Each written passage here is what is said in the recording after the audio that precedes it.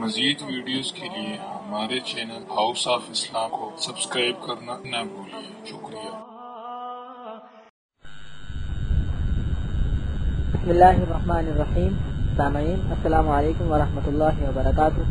ये सीडी आपकी खिदमत में शोबा दारुल इशात कराची की जानब से पेश की जा रही है। मिलने का पता Darul Ishaat Urdu Bazaar Karachi, Pakistan. Email Ishaat at the rate D G com dot net dot P K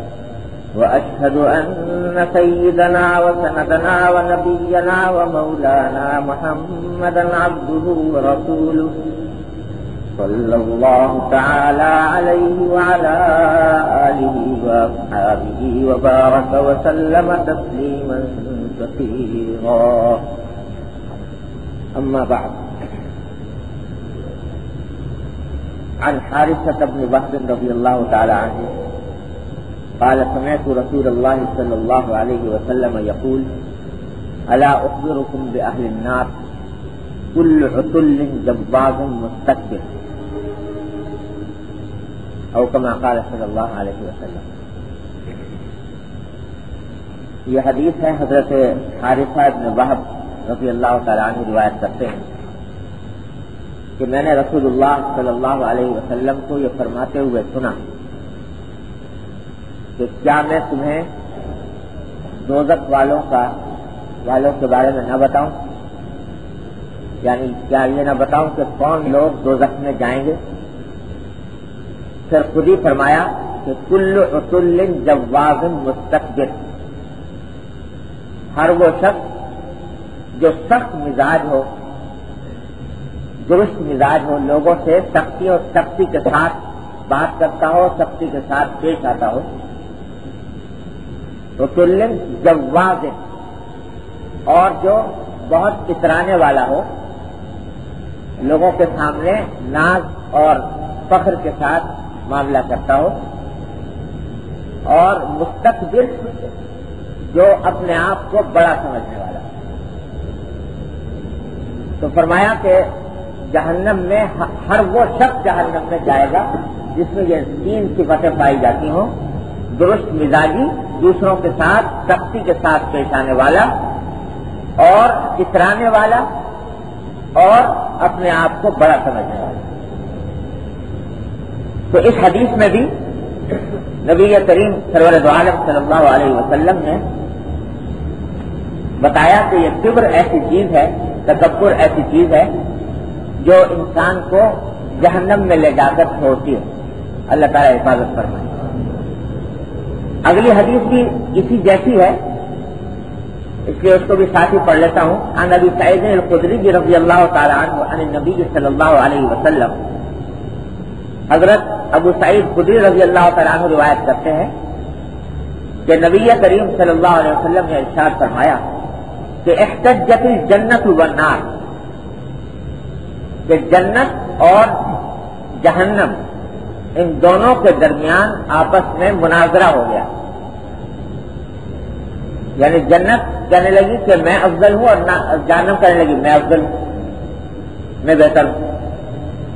फकारत नार तो जहन्नम ने कहा कि मैं इसलिए बेहतर, बड़ी हूँ कि फिजल जब्बारून अलमतकबरून मेरे अंदर जितने बड़े बड़े जब्बार दुनिया में गुजरे हैं और जितने बड़े बड़े मुतकबरीन गुजरे हैं, बड़े मनसब वाले, बड़ी शान शौकत वाले, वो सब मेरे पास आने वाले लिहाजा मेरा दर्जा इसलिए बड़ा है कि मेरे पास वो लोग आएँगे जिनका दर्जा दुनिया में बड़ा समझा जाता था या जिन्होंने अपना दर्जा बनाया हुआ था, अपनी शान शौकत बनाई हुई वो मेरे पास आएँगे वकालत जन्नत, और जन्नत ने कहा, उसके जवाब में जो सीय व आपा और नासी वह मसाकी हो।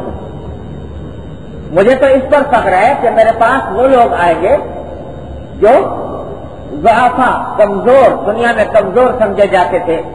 देखने वाला उनकी कोई शान शौकत नहीं समझता था। और मसाकिन थे, मसाकिन इसको भी कहते हैं कि हमारे दौलत के अतबार से कम थे। या हमारे दौलत चाहे अल्लाह ताला ने अता फरमाई हो, लेकिन तबीयत में मस्कनक थी तबीयत में मिस्कीनी थी। तो वो लोग सब मेरे पास आए।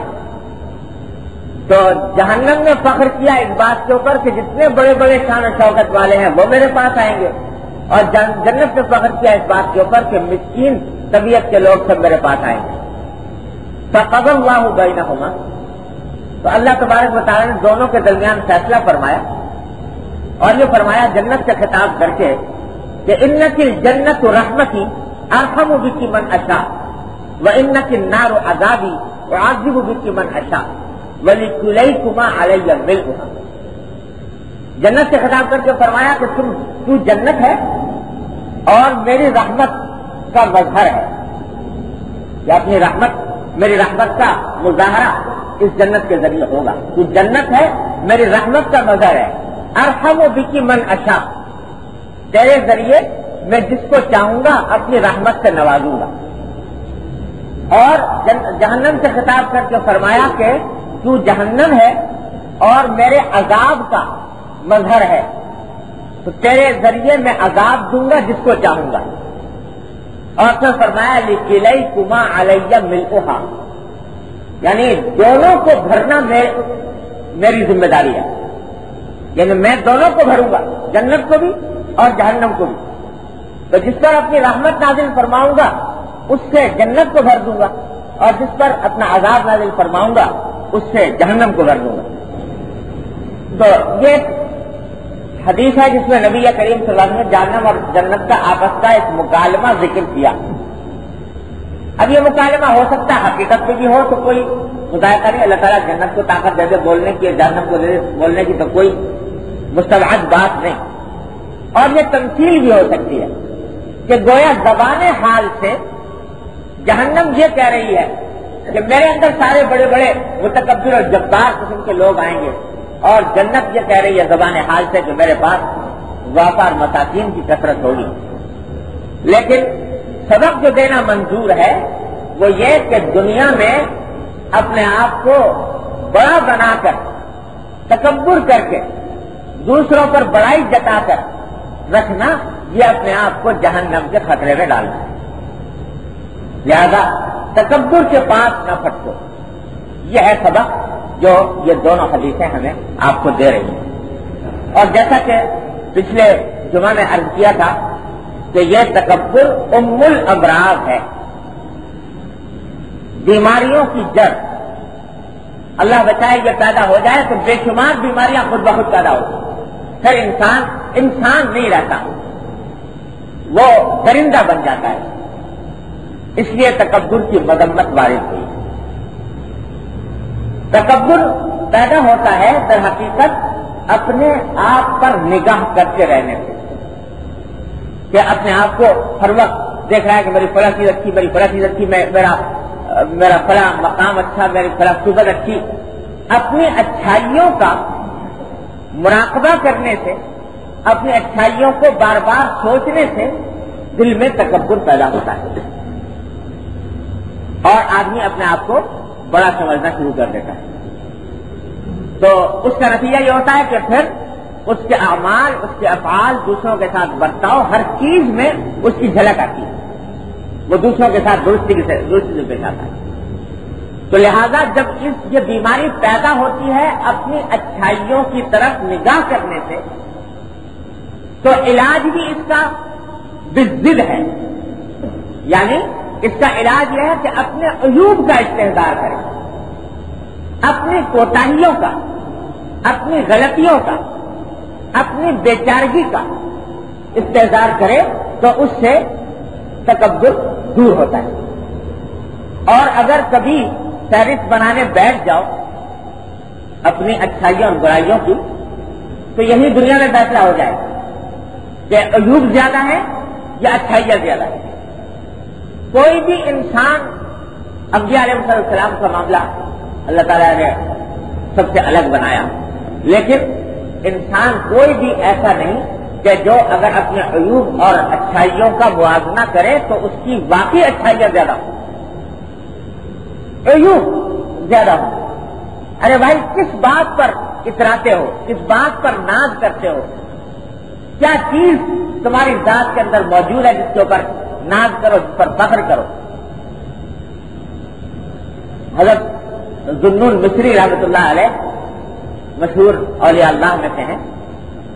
वो एक मरतबा जा रहे थे तो रास्ते में एक शख्स देखा, बड़ा अकड़ा हुआ जा रहा है। सीना तान कर और हाथ चढ़ाकर ऐसा लग रहा है कि जैसे ये फिरौन बना हुआ चल रहा है। तो कुरान शरीफ में फरमाया, वाला कम सी फिल अर्ज़ मराहा। ज़मीन पर अकड़ कर न चलो।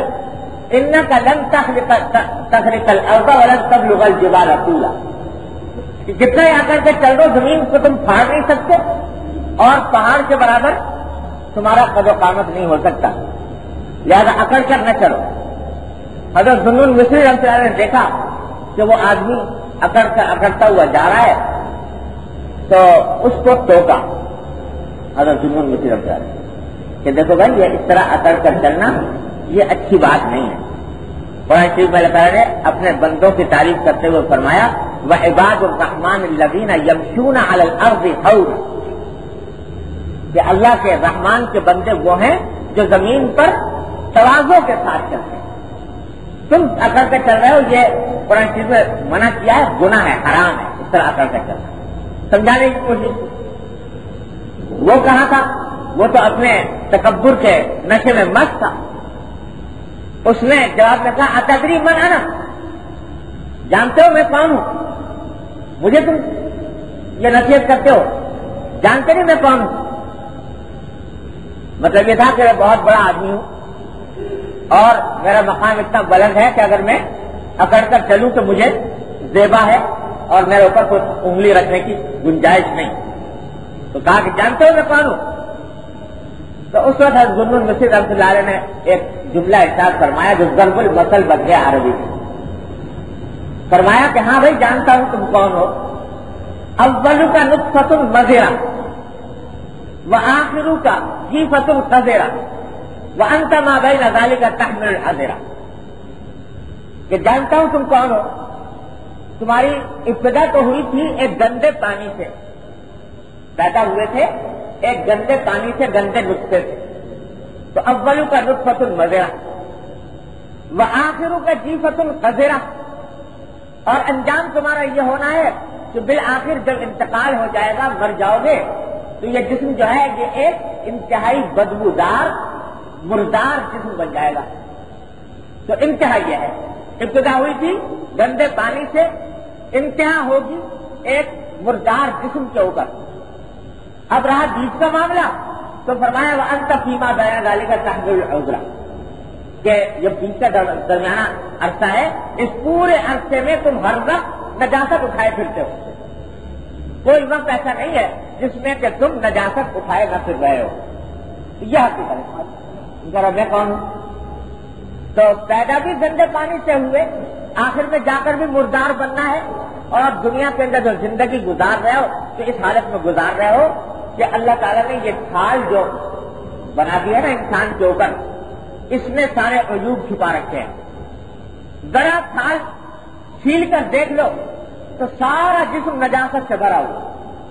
ये खून है, ये पीत है, ये पेशाब है, ये पखाना है, ये पानी है, जो कुछ है सब नजीस है। इस दर्जा नजीस है, आप जानते हैं कि अगर जिसम से जरा सा खून निकल आए, वुजू टूट जाता है। पीत निकल आए, वुजू टूट जाता है।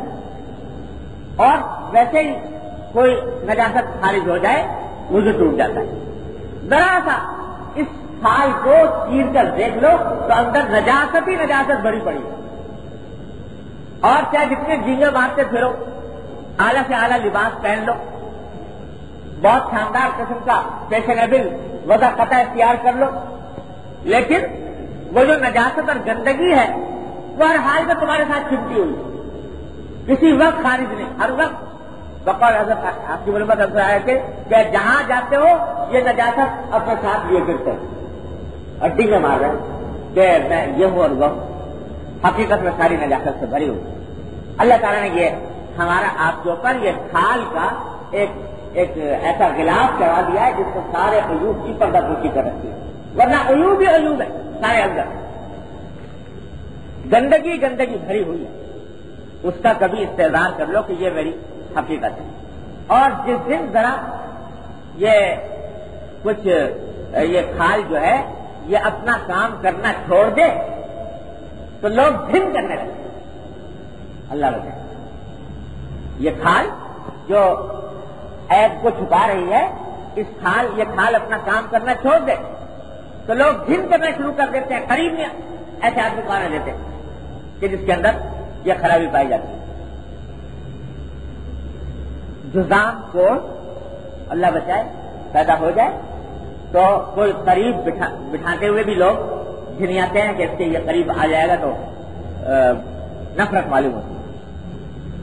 और यहाँ तक कह दिया कि खुद शरीयत ने यह कह दिया कि अगर कोई आदमी इस किस्म के किसी मरज में मुबतला हो बीमारी में कोड़ में जुदाम में।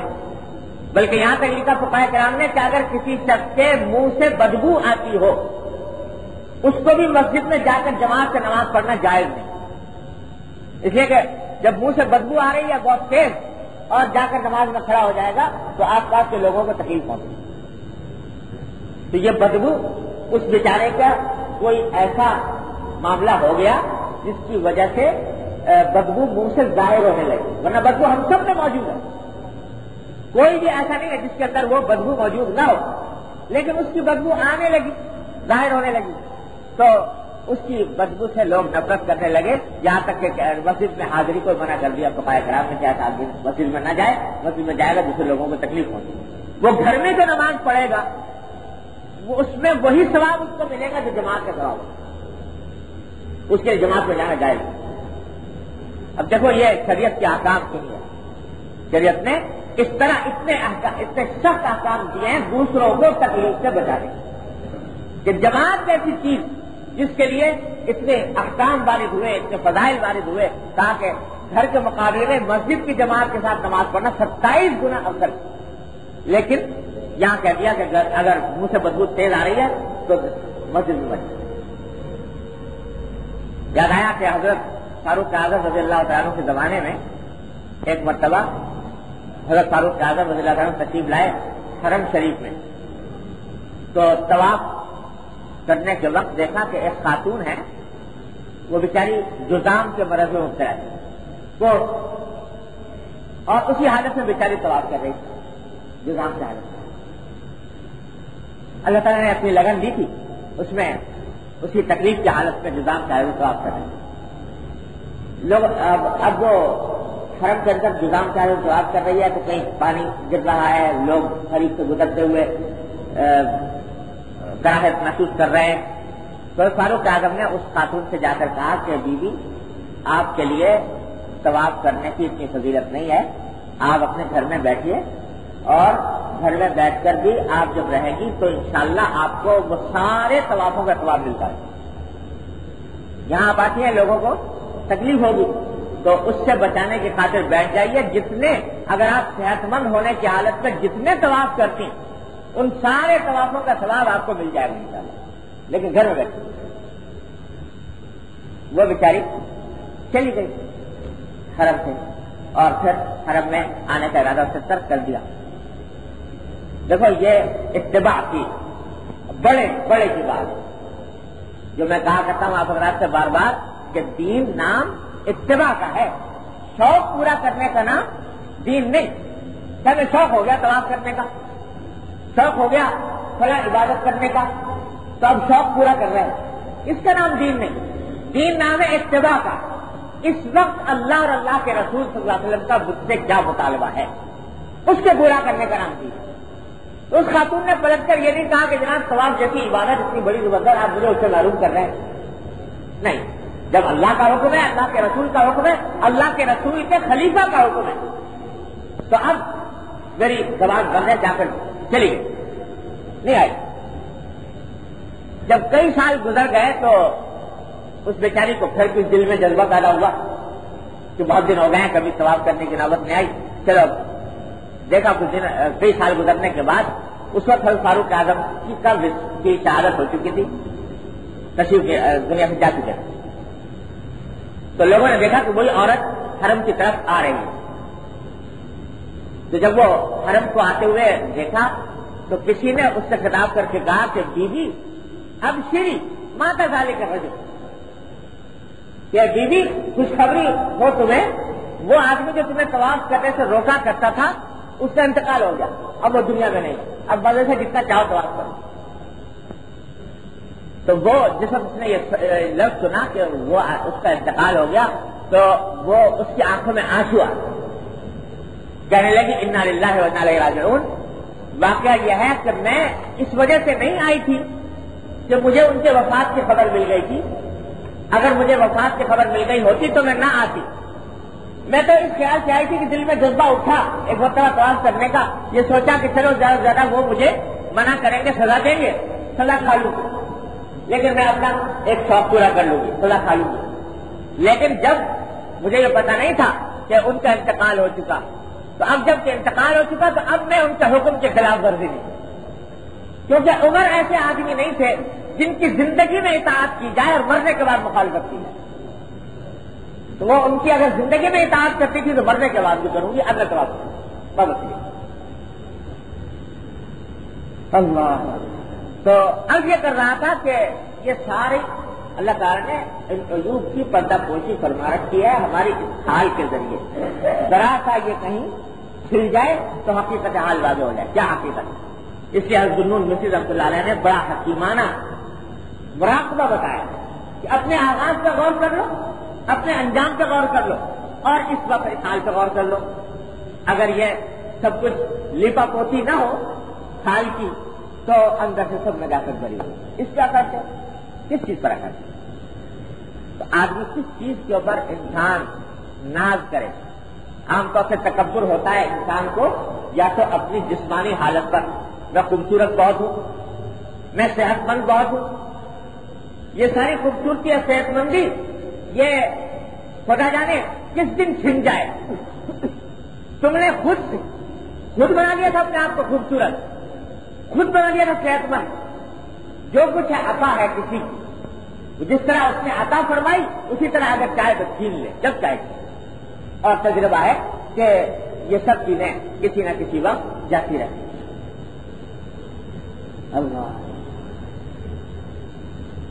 एक वाक्य लिखता है कि एक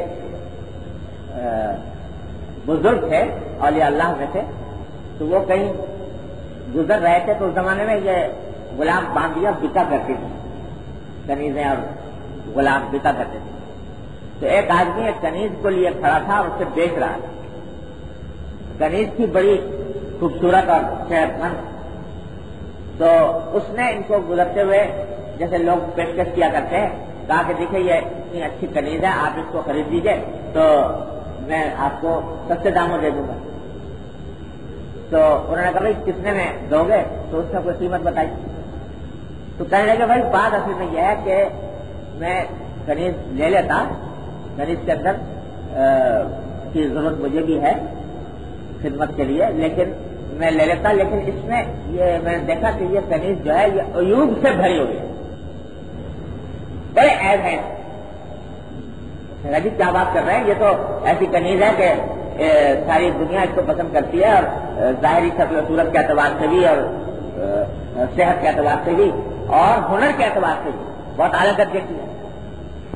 तो उन्होंने कहा अयूब, इसमें यह है कि ये कनीज जो है, इसका सारा होको जमाल ये चंद महीनों, चंद सालों का है। उसके बाद ढल जा, ढल जाएगा। और ये सेहत, और जो कुछ सेहत की बात कर रहे हो, ये सेहत भी चंद सालों की है, उसके बाद खत्म हो जाएगी। और इससे भी ज़्यादा ये कि ये कब तक मेरा काम अंजाम देगी कुछ दिनों के बाद मौत के मुँह चली जाएगी।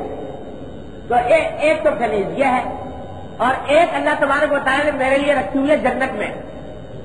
उसके अंदर ना उसका हुसन जमाल कभी खत्म होगा ना उसकी उसकी सेहत कभी खत्म होगी ना वो कभी फना होने वाली है। तो मैं तो उस अल्लाह उस जो अल्लाह तला ने वहाँ पर रखी है उसकी फ़िक्र में हूँ और इस ऐबदार कनीज को मैं लेना नहीं चाहता। तो आदमी अगर गौर करे तो ये सारी, सारा हुस्न, जमाल, सारी सेहत, ज़ाहिर खूबसूरती, ये सब फना हो जाने वाली है। इस फना हो जाने वाली चीज़ पर क्या इंसान नाज करे, क्या इंसान इसके ऊपर फख्र करे? दूसरा कभी फख्र होता है इंसान को अपने माल का। कि मैं बड़ा मालदार हूँ। और मालदार होने की बिना पर अपने आप को दूसरों से बुलंद बाला समझता है। दूसरों पर अपना सिक्का जमाना चाहता है शान शौकत दिखाना चाहता है।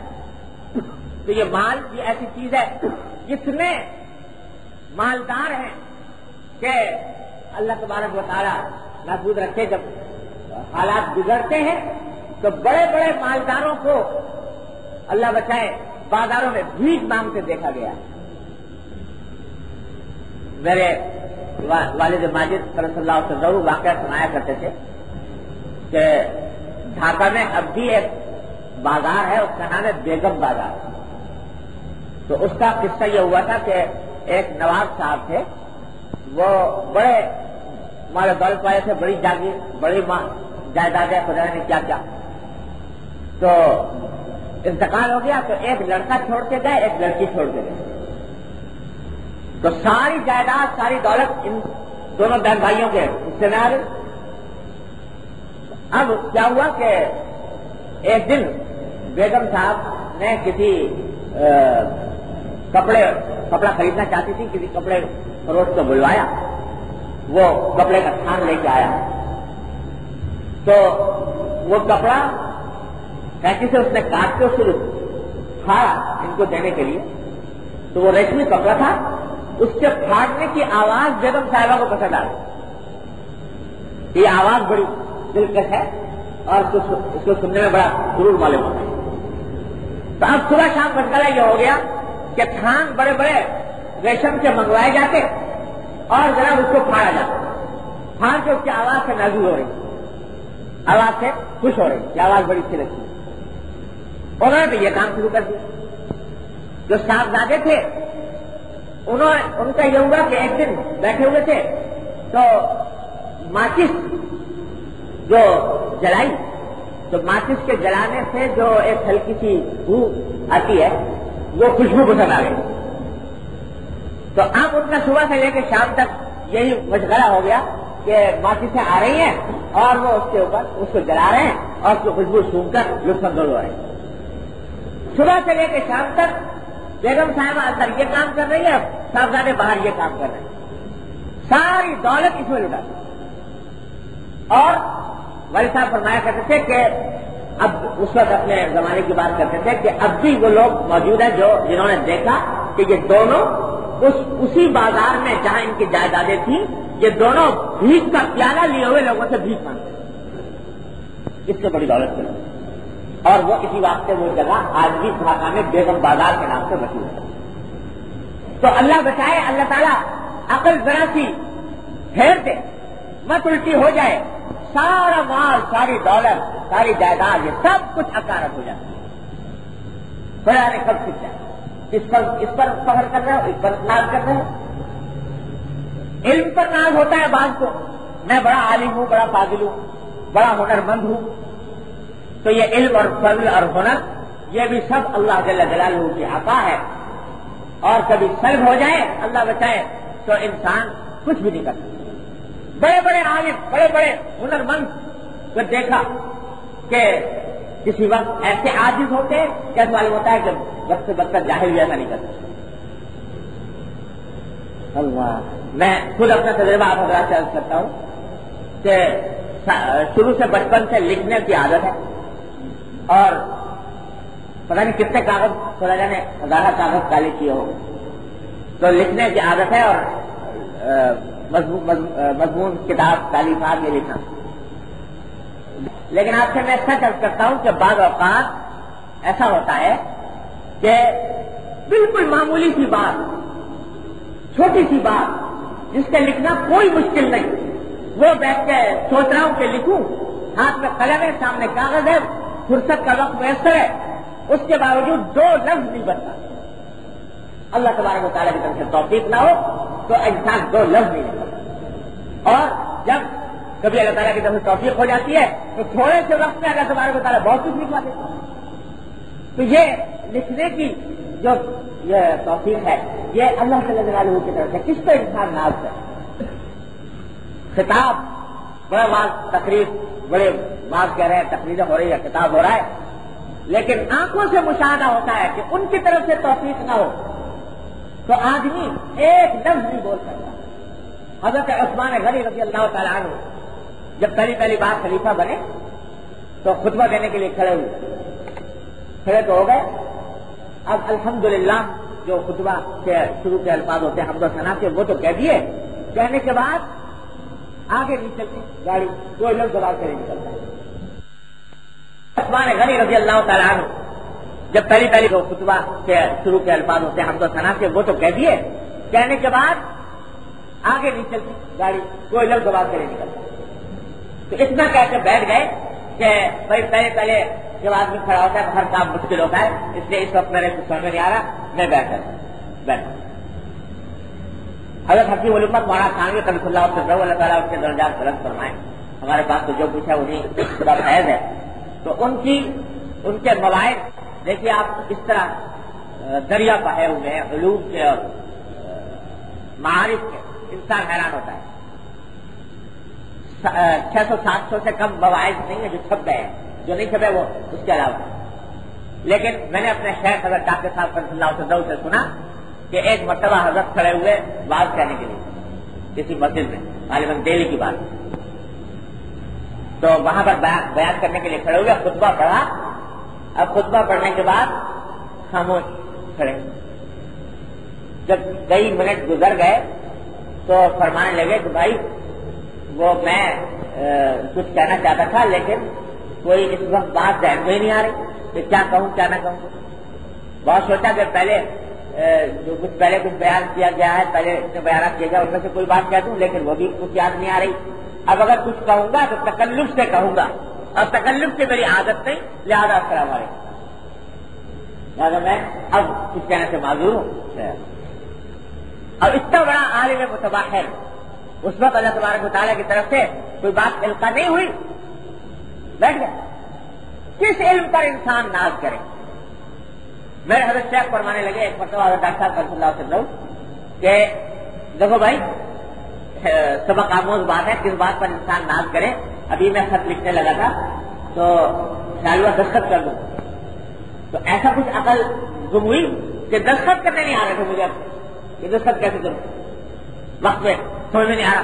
काफ़ी देर गौर करने के बाद फिर याद आया, फिर फिर लिखा, फिर सर किस चीज़ पर इंसान भरोसा करे, किस चीज़ पर इंसान नाज करे, सब अल्लाह जलालू की आता है, जब चाहे फिर सकते तो इल्म फजल हुनर कोई चीज़ ऐसी नहीं है जिसको बर्दाश्त करे। मनसब, जाहो मनसब। बड़े मरतबे के आदमी है। बड़ा ऊँचा मकाम है और लोग मानते हैं। ये सब कुछ, लेकिन सारा जाओ मनसब किसी एक मरहले में जाकर धरा रह जाता है और खत्म। एक सबकामो किस्सा खुद मेरे साथ एक मतलब पेश आया और मैं क्योंकि अदालत में भी काम कर, करने का मौका मिलता है तो वह अदालत के कुछ आदाब होते हैं। एक मरतबा में अदालत से निकल रहा था तो गाड़ी में सवार था। तो जिस दरवाज़ा होता है वहाँ पर सिपाही खड़े रहते हैं बड़े मुसल्ला। और जब कोई जज साहब वहाँ से गुजरते हैं तो वो उनको एक खास शान से सलामी देते हैं। तो मैं निकल रहा था, गाड़ी के अंदर बैठा हुआ, वो सिपाही जो वहाँ पर खड़ा हुआ था, उसने हंसे मामूल, बड़े अदब के साथ ताजीम के साथ सलामी दी। सलामी दे के निकल आए, बड़ी ताजी हुई। तो बाहर निकलने के बाद इतफाक से मेरे ड्राइवर को कुछ काम था, किसी जगह जाना था तो उसने मुझसे छुट्टी ले ली तो मैंने कहा, चलो मैं ही ड्राइव करके ले जाता हूँ गाड़ी। तो वो अपने किसी काम चला गया, मैंने ड्राइव करनी शुरू कर अब वो मुझे याद वाद रहता नहीं कि कौन सी सड़क के ऊपर बोलना चाहिए कौन सी पर नहीं बोलना चाहिए तो एक जगह गलत बोल दिया। उसी वक्त अभी पाँच मिनट हुए थे वहाँ से निकले हुए तो बोल दिया गलत एक सड़क के ऊपर। अब जो मैंने गलत बोला तो एक सिपाही आ, गया। और उसने जनाब बड़ा बड़ी सख्त सुनानी शुरू की। तुम्हें नज़र नहीं आ रहा तुम्हारे मुँह पर आँखें नहीं है ये रास्ता बन गया है तुमने इसके अंदर बोल दिया। बड़ी उसने सख्त लहजे में सख्त सुनाई शुरू तो मैंने कहा, देखो ये है इंसान की हकीकत अभी वहाँ वो सलामी दे रहा था और बड़ी ताजीम तकलीम कर रहा था और अभी यहाँ इसने उसका फ़ौरन फ़ौरन बदला चुका दिया, एक मिनट। तो उसको बाद उसको समझा के गलती हो गई। उसने कहा, नहीं दीजिए वो नतीजा यह जो चालान चालान करना शुरू कर दिया।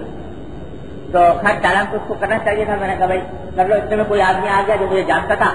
तो उसने उससे कहा कि, भाई, तुम क्या हरकत कर रहे हो उससे, उसको बेचारे को फिर बाद में, बड़ी नदामत होने लगी, कहने लगा कि नहीं, मैं चालान वाला नहीं करता। फिर मैंने ज़बरदस्ती चालान, कहा कि नहीं करो। उस रास्ते के वाकई कानून की खिलाफ वर्जी थी तो इसलिए चालान तुम्हें करना चाहिए। अब वो उसकी हाथ पाँव के तोते उड़े हुए कि ये पता नहीं मेरे साथ क्या मामला होगा। लेकिन, बहरहाल, अल्लाह ताला ने उसी वक्त दिखा दिया।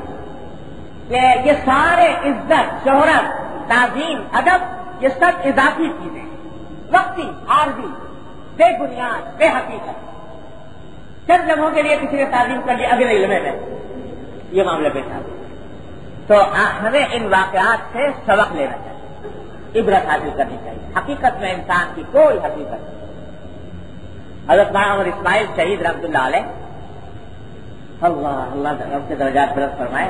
हज़रत और इस्माइल शहीद बड़े दर्जा के आलिम भी थे और खानदानी अतवा से शहजादे शहजादे तो एक मरतबा कहीं जा रहे थे तो रास्ते में आ, किसी मस्जिद के अंदर गुजर हुआ रास्ते में कहीं कोई ठहरने की जगह नहीं थी तो मस्जिद में कहीं चले गए रात क्या गुजार अब वो मोहसिन साहब जो थे वो मस्जिद के उसके निगरानी में मामूर थे। उन्होंने जनाब उनको निकालना शुरू किया कि नहीं यहाँ इजाज़त नहीं है बाहर निकलिए। उन्होंने कहा, भाई, मैं मुसाफिर हूँ, मुसाफिर के लिए जाए तो मस्जिद में रात गुजार लेना। मुझे छोड़ दो। नहीं मानता। वहाँ निकल गए। निकलने के बाद थोड़ी देर के बाद आ गया अब फिर उसने रात धक्के देके निकाला कि निकलो यहाँ से, यहाँ इजाज़त मिलेगी फिर निकल गया माना, दो तीन दिन थोड़ी देर घूम घुमा के फिर अंदर दाखिल होगा फिर उसे धक्के लेके निकालने की कोशिश की।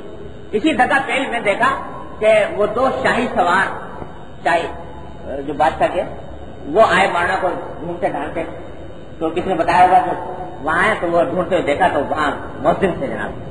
धक्का पेल हो रही थी। तो महाराणा वो बादशाह ने देखा कि शाही सवार इनको बुलाने आए थे, कोई बहुत बड़ा आदमी होगा, जो बादशाह के आदमी इनको बुलाने के लिए आए अब उसकी स्थिति गुम हुई कि मैंने इनके साथ इस तरह का मामला किया तो अब मेरा क्या असर बनेगा? तो मौलाना ने उसको तसली दी कि नहीं भाई तुम्हारा कुछ साला कुछ नुकसान पहुंचेगा, तुमने ठीक काम किया और बाकी मस्जिद की हिफाजत करना तुम्हारी ज़िम्मेदारी थी तुम मुझे चाहिए था निकाल कर निकाला मुझे इसके ऊपर कोई वो नहीं है, तुम्हें बेफिक्र सजा नहीं मिलेगी। जब ये सब कुछ हो गया, उसने कहा कि हज़रत फिर आपने किया क्यों ये? यानी एक मतलब निकाल दिया फिर दोबारा आए, फिर दोबारा निकाल दिया, तीन कराए आप। तो ये क्या आपने काम किया? मैंने कहा, छोड़ो तुम ये बात। मुझे कहा कि मैं उस तक नहीं छोड़ूँगा जब तक आप मुझे बताएँगे ये क्यों किया? तो मैंने फरमाया कि असल बात यह है कि भाई, बाहर जब जाता हूँ तो हाथ पाँव चूमने वाले बहुत हैं। और लोग ताजीम करने वाले बहुत हैं। और उसके नतीजे में कभी कभी इंसान का अपना नफ्स खराब हो जाता है।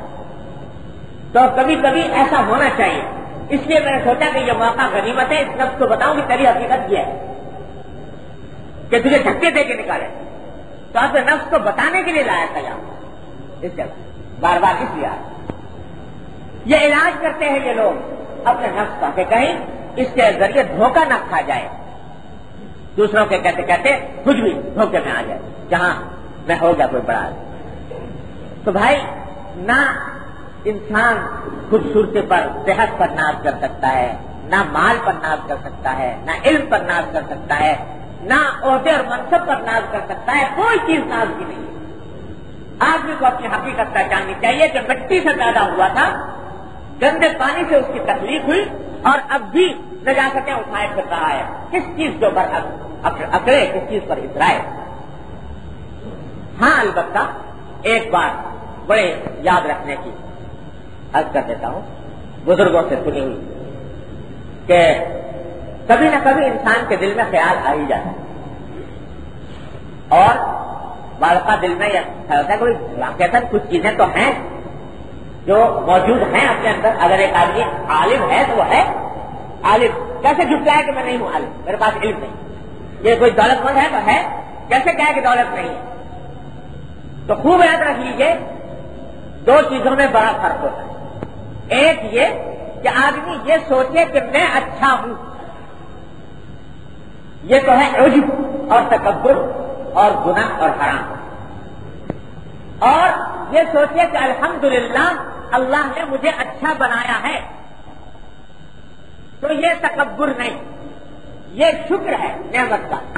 और इसके अंदर कोई गुना नहीं। इतना बारीक बात फ़र्क ये सोचे कि मैं अच्छा हूँ, मैं बड़ा हूँ तो गुना है, हराम है तकबर है उज्व है, इस्तकबार है। और कहे कि अल्लाह ने अपने फजल करम से मुझे ये अच्छाई अता फरमाई। तो बस वही तकबर फना हो गया। इस वास्ते अगर अपनी तरफ़ मंसूब नहीं कर रहा, उन्होंने अता फरमाई है, उन्हीं की अता है, उन्हीं का करम है, जब तक उन्होंने अता फरमा किया है, जब चाहेंगे वापस कर लेंगे मेरी अपनी दादी को ये काम कर ले तो बस तकबुल की जड़ करें। जड़ कर। इसी से हमारे अगर फरमाया करने से अगर डॉक्टर साहब का सलाह सुन रहा कि शुक्र वो चीज़ है जो तकबर की जड़ काम है। जब कभी ख्याल आए अपनी किसी बात का अल्लाह ने अपने फजल करम से ये बात अता फरमा दी तो ये नेमत का ज़िक्र है अल्लाह की। अम्मा भी नेमत रब्बी का हद इसका हुक्म है। अपने परवरदिगार की नेमत का दूसरों से बयान भी कर।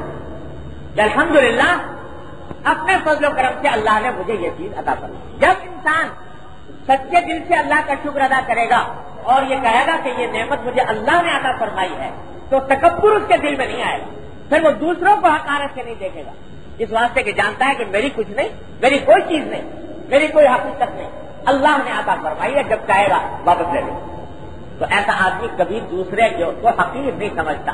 कभी दूसरे के साथ दुरुस्ती का सख्ती का मामला नहीं यह है फ़र्क तकबर में दादी से नहीं जो मुतकबिर होता है, उसके दिमाग में यह बात होती है कि नहीं, मुझे जो कुछ मिला है, मेरी जाती खसूसियत है। और जब अल्लाह की तरफ़ मंसूब कर देता है तो ये बात खत्म हो जाती है। ये बात थी तकबर से बता दी अब तकबर के जिस तरह हराम है, उसी के मुकाबिल में फ़र्ज़ है तवाज़ो इख्तियार करना। कि आदमी तवाजो इख्तियार करे। ये भी ज़रूरी है। तकबर हराम और तवाजो, अल्लाह के लिए तवाजो वाजिब। तवाजो से मुराद है अपने आप को कम समझ। अपनी हकीकत को पहचानना कि मैं बेहकीकत हूँ। इसका नाम है तवाजो इसको भी इसकी तहकीर ज़रूरी है। तकबर हराम, तवाजो ज़रूरी और अल्लाह ताला ने फरमाया नबी करीम ने फरमाया, मन तवाजा अल्लाह रफा अल्लाह। जो अल्लाह के लिए तवाज़ो अख्तियार करता है, अल्लाह ताला उसको रिफात अदा करता है। बुलंद करते हैं।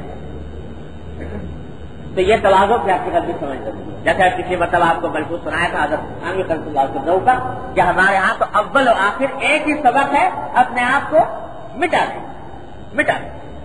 मेरी कोई हकीकत यह है तवाज़ो तो कल पिछली पता जब मैंने ये बात कही तो एक साहब पूछ भी रहे थे, पिछली मजलिस में, बाद में, और फिर अपनी बात दिल में प्यार पैदा होता है। आजकल बड़ा ज़ोर है इल्म नफ्सियात का। और नफ्सियात के अंदर, नफ्सिया, एक चीज़ होती है जो बहुत मशहूर है आजकल लोगों में, एहसास कमतरी एहसास कमतरी उसको बहुत बुरा समझा जाता है। एहसास कमतरी तो बहुत बुरी चीज़ है। और किसी के अंदर अगर पैदा हो जाए तो उसको बाकायदा उसका इलाज करने की कोशिश की जाती है। तो वो एक साहब पूछने लगे कि साहब, आप कह रहे थे कि अपने आप को मिटाना चाहिए तो इसका माना यह है कि आप एहसास कमतरी लोगों के दिल में पैदा करना चाहते हैं। और जब तवाजों का हुक्म दिया गया है तो इसका माना यह है कि एहसास कमतरी लोग अपने अंदर पैदा करें। तो क्या ये बात सही है जैसा से कमतरी पैदा करें? तो भाई, तवाजो और ऐसा से कमतरी का फ़र्क समझना चाहिए। एक तो बात यह है कि ये नफ्सियात जिन लोगों ने मरतब की, उनको, बेचारों को दिन का अल्लाह का, अल्लाह के रसूल का तो कुछ पता था नहीं। लिहाजा उन्होंने एक ऐसा लफ्ज इख्तियार कर लिया कि जिसमें बात अच्छी बातें भी शामिल हो जाती हैं, उसको भी ऐसा कमतरी में शामिल करते हैं। लेकिन फिल वाकया तवाजों में और ऐसा से कमतरी में फ़र्क होता है। फ़र्क यह है, जरा समझ लो कि ऐसा से कमतरी जिसको कहा जाता है, वो दर हकीकत शिकवा होता है। अल्लाह तबारक वाली की तकलीफ़ पर। यानी कि इंसान को यह ख्याल होता है कि मैं, मुझे बहुत महरूम रखा गया है। मैं, मुझे बहुत गलत तरीके से पीछे रखा गया है। मैं मुस्तैद तो ज़्यादा का था, लेकिन मुझे मिला कम। मैं मुझे बदसूरत पैदा किया गया। मुझे गैर सेहतमंद बीमार पैदा किया गया। मुझे माल दौलत कम दी गई। मेरा रुतबा कम रखा गया।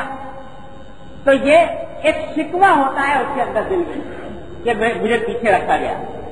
और उस शिकवे का लाजमी नतीजा ये होता है कि वो उसके तबीयत में झुंझलाहट पैदा होती है। कि मेरे साथ जाती हुई, ज़्यादा झुंझलाहट पैदा होती है। और उस इजलास के नतीजे में बालौकात इंसान खुद अपने आप को मुजाहरा करना चाहता है अपनी पढ़ाई कर अपनी अच्छाई का तो ये सारा बुनियाद ही चलती है अल्लाह की तकदीर पर शिकवे से ऐसा करते हैं और उसके नतीजे में इंसान हसद में मुबतला होता है। उसके नतीजे में इंसान दूसरों को दूसरों के सामने अपने अपनी ज़्यादा बड़ाई दिखाने का, का दिखाना चाहता है और उसके साथ साथ उसमें झुंझलाहट होती है बाद उसके अंदर मायूसी होती है कि अब आइंदा मैं कुछ नहीं कर, मुझसे कुछ नहीं हो सकता। ये बात, बातें पैदा हो जाती इसलिए यह बिल्कुल अलग लाइन है। तवाजो किस चीज़ का नाम है, वो अल्लाह ताला की तकलीफ़ पर शिकवा नहीं। अल्लाह ताला की तकलीफ़ पर इनाम, अल्लाह ताला के इनाम पर शुक्र से पैदा होती है तवाजो। कि अल्लाह ने गर्म किया कि मुझे मैं तो बेहकीकत था। लेकिन अल्लाह ने अपने फ़र्ज़ करम से मुझे जो कुछ भी अदा फरमाया, वो उनका करम है आता है, मैं उसका मुस्तैद नहीं तो देखो कितना अजीब फ़र्क हो गया। वो कहता है कि मुस्तैद ज़्यादा का था, मिला कम। तो वो तो हकीकत में तकबर का एक हिस्सा है। जो अपने आप को बड़ा मुस्तैद समझ रहा है और कहता है कि मिला कम। और तवाजो वाला ये कहता है कि साहब मैं मुस्तैद तो इतने का भी नहीं था जितना मुझे मिला। हकीकत में अल्लाह तबारक ने जो कुछ अदा फरमाया, ये उनकी अता है। और मैं मुस्तैद इसका भी नहीं था। क्योंकि उनकी अता है, उन्हीं के अता पर भरोसा करते हुए मैं अपनी ज़िंदगी गुजार तो ये फ़र्क होता है तवाजों में, और ऐसा से करीब।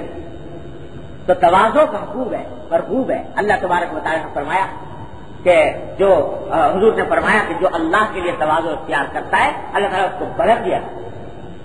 तकबर की खासियत यह है कि बिल आखिर वो जलील होता है। और तवाजों की खासियत यह है कि बिल आखिर उसको इज़्ज़त होता एक अरबी जबान का मकूला है, बड़ा हकीमाना। वो उसमें कहने वाले ने कहा कि मुतकबिर की मिसाल ऐसी है, उस शख्स की सी है जो पहाड़ की चोटी पर खड़ा हो। तो वो ऊपर से लोगों को छोटा समझता है और लोग उसे छोटा समझते हैं। ऊपर से पहाड़ की चोटी पर खड़ा है, जितने आगे नीचे घुर रहे गुजर रहे हैं, सब छोटे छोटे करा रहे हैं। सबको छोटा समझ रहा और वो जो गुजरने वाले हैं, वो ऊपर देखते तो वो उसको छोटा समझते तो मुतकबिर जो है, वो सारी दुनिया को हकीर समझता है। और सारी दुनिया उसको हकीर समझती है। और जिस शख्स के दिल में अल्लाह ताला तवाजो पैदा करवा दे, हकीकी तवाजो तो फिर बिल आखिर अल्लाह तबारक वाली उसको इज़्ज़त भी अदा फरमाते हैं। रिफात भी उसको हासिल होती है। मन तवाजा रफा हाँ बशर्ते के तवाजो, ये हकीकी तवाजो बुलंदी हासिल करने के लिए ना की गई हो इख्तियार झूठी तवाजो, बल्कि वाकई अल्लाह के आगे तवाजो किया इस तवाजो और तवाजो के हसूल की तरबियत दी जाती है।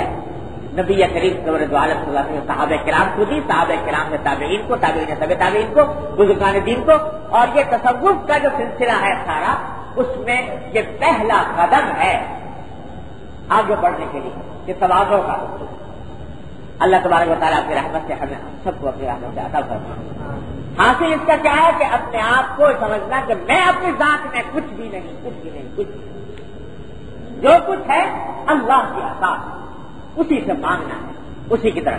तो अब अगर कभी किसी अपने अच्छे वक्त का ध्यान आ भी जाए तो अल्लाह तबारक वाली का शुक्र अदा करे कि उसने मेरे इस्तेकाम के बगैर मुझे ये चीज़ अदा करवा दी। ये करते रहो तो इंशाला तबाह इसीलिए अगर हमारे हज़रत फरमाने थे कि कसरत से शुक्र अदा करना, ये नुस्खा एक सीर है तकबर को खत्म करने के लिए और तवाजों के हसूल ऐसे असबाब इख्तियार न करें जो तकबर वाले हैं। अपने आप को किसी छोटे से छोटे काम को अपने से फरोतर न समझे। याद रखो। छोटे से छोटा काम, उसको ये ना समझो कि भाई ये तो मेरे दर्जे से गिरी हुई बात। कोई दर्जे से गिरी हुई बात नहीं। तुम क्या तुम्हारा दर्जा क्या हजूर नबी के करीम सरवर आलम सल्लल्लाहु अलैहि वसल्लम अपने हाथ से बकरी का दूध दो रहे हैं। अपने हाथ से कपड़े धो रहे हैं। अपने हाथ से अपने बदन की खिदमत कर रहे हैं। एक मामूली सी छोकरी आती है हदीस में आता है। छोटी छोकरी आती है कि मुझे आपसे काम है, हाथ पकड़ के ले जाती है, आप उसके साथ तस्वीर ले जा रहे हैं। कभी ये ख्याल नहीं आता कि मेरा दर्जा इससे बुलंद है कि मैं छोकरी के साथ जाऊँ। कोई आदमी छोटा सा हकीर सा हदिया भी लेकर आ जाता है तो आप उसको कबूल फरमा लेते हैं। कोई कितना ही बजाहिर देखने में कम रुतबा शख्स हो, वो आपसे मिलना चाहता है, मिलने के ऊपर कभी कोई एतराज़ नहीं फरमाते ये तो मुझसे कम रुतबा है, मैं कैसे इससे मिल? तो किसी भी छोटे से छोटे काम को अपने काम को ये ना समझो कि ये मेरे दर्जे से शुरू होता है। नहीं। बाज़ार में बकरियाँ चराना। आज जरा देखो तो ना दिल का हाथ रखे कि बकरियाँ चराने को हमसे कहा जाए कि तुम बकरियाँ चराओ। तो दिल में ये ख्याल पैदा होगा कि बकरियाँ चराना तो हमारे दर्जे से फिरोतर काम। और सारे अम्बिया मुस्लाम से नकार ने बकरियाँ चराई कोई नबी ऐसा नहीं जिसने बकरी न चलाई क्या? एक तो उससे तवाज और बस कर रखा दूसरे, बकरियों के गले को संभालना, उनकी तरबियत, उनको भेड़िया न खा जाए, उनका शस्तर तहमुल गुरुद्वारी, ये सारी चीज़ें की आदत डलवाई जाती है बकरिया करवा तो भाई, कोई भी काम ऐसा नहीं है। ये मेरे करने का काम नहीं है, ये ना सोचो। अगर ज़रूरत पेश आ गई तो वो काम कर लो, कोई मसला नहीं।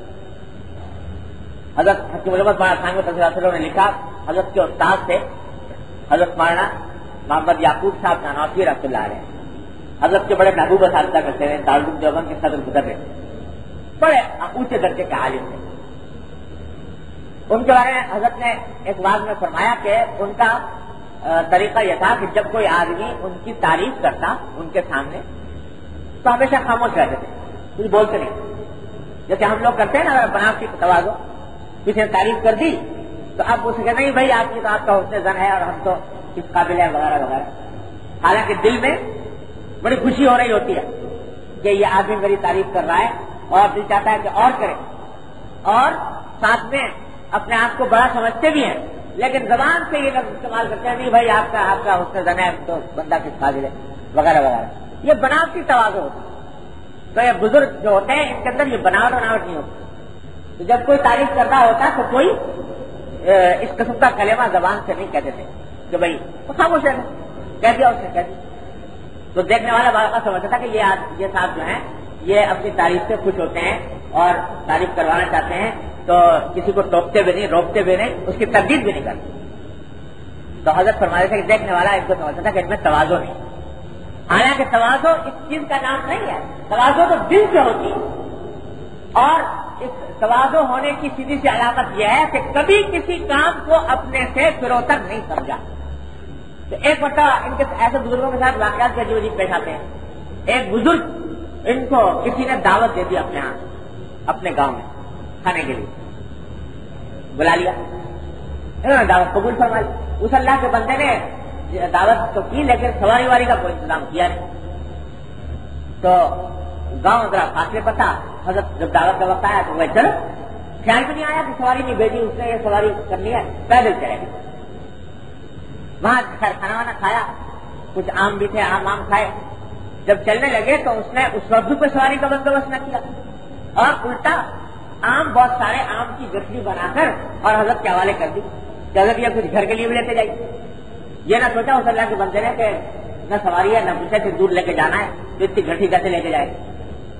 अब वो गठी वहाँ को दे दी अब जनाब वो इतना वजनी आठ दस से दस के करीब आम होंगे वो उस कपड़े में गट्टी में बंधे हुए और वहाँ लेके जा रहे हैं अब सारी उम्र कभी इतना बोझ उठाया नहीं सलादों की ज़िंदगी गुजारी लेकिन अब कभी एक हाथ में उठाए कभी दूसरे हाथ में उठाए सारा रास्ता इसी तरीके से पता करते हुए चले यहाँ तक कि जब एक मरले पर जौवन करीब आने लगा तो उस थक गए दोनों हाथ में इस हाथ में चैन उस हाथ में चैन। तो आखिरकार कुछ ख्याल आया तो अपने सर पर रख ली अब जो सर पर रखी तो उसको कुछ आराम मिला। हाँ, हाथ में ज़्यादा दिक्कत होती है उठाने में बड़ी सर तो उस वक्त जब आराम मिला तो फरमाने जो भाई हम भी अजीब आदमी है कि हम सारे रास्ते तकलीफ़ उठाते आए पहले समझ में ना आए कि यहाँ रख लेते तो ये फिर इतनी जहमत उठानी नहीं पड़ती। अब वो सर पर गट्टी रखी हुई है और जनाब मरना। तशीफ ले जा रहे हैं यहाँ तक के देवबंद के अंदर शहर में दाखिल हो गए। अब जो लोग आ रहे हैं, वो सलाम कर रहे हैं, मुसाफा कर रहे हैं, एक हाथ से गठी संभाली हुई एक हाथ से सलाम और मुसाफा भी हो रहा है। इसी हालत में अपना पहुँच गए देवबंद। और ना एक हास्य ख्याल में ये बात नहीं आई कि ये काम मेरे मर्तबे के खिलाफ हो। दारुल जब के सदर इसके मर्तबे के खिलाफ। जब ज़रूरत पेश आ गई, उम्र भर नहीं किया था, लेकिन ज़रूरत पेश आ गई तो अपने मर्तबे के खिलाफ नहीं समझा। इस काम तो किसी काम को कितना ही मामूली काम क्यों ना हो अपने मर्तबे से फरोतर न समझे यह है तवाजों की अलामत अल्लाह ताला की रहमत से मुझे आपको सब पता करना दुआ फरमाइए अल्लाह तमाम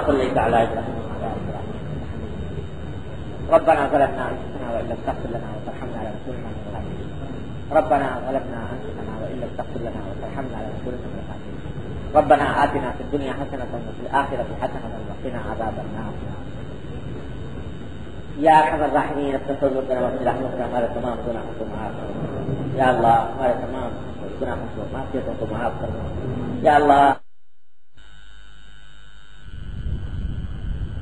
बसमीम सामीन अल्लाम वरहमल वबरक ये सीडी आपकी खिदमत में शोभा दारुल इशात कराची की जानब से पेश की जा रही है मिलने का पता Darul Ishaat Urdu Bazaar Karachi, Pakistan. Email Ishaat at the rate D G com dot net dot P K